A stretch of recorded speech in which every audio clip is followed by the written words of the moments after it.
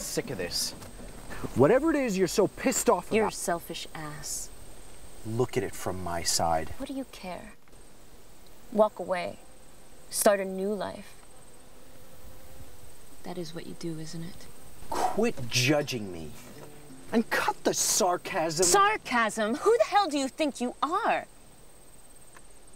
You have no idea of the debris you leave in your wake. I'm the one missing my flight. Why don't you lay off and let me think?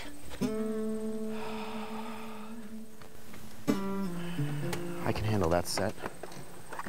Miss the shareholders, client meetings. I can send files. Come on, Taters!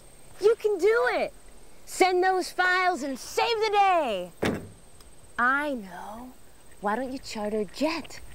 And then you won't have to spend any time with your grandma. What the hell is your problem? You got your check.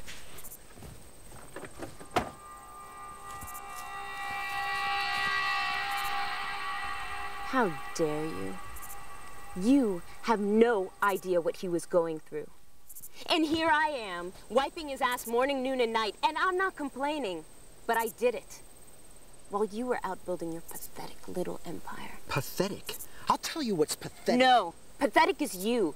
Having to pay for someone to take care of him because you couldn't be bothered to take care of him yourself. So that's what it is. You're upset because your meal ticket just got terminated. Your gravy train just got derailed and you're desperate. Keep it. Keep your whole damn family. The only decent man in it just died.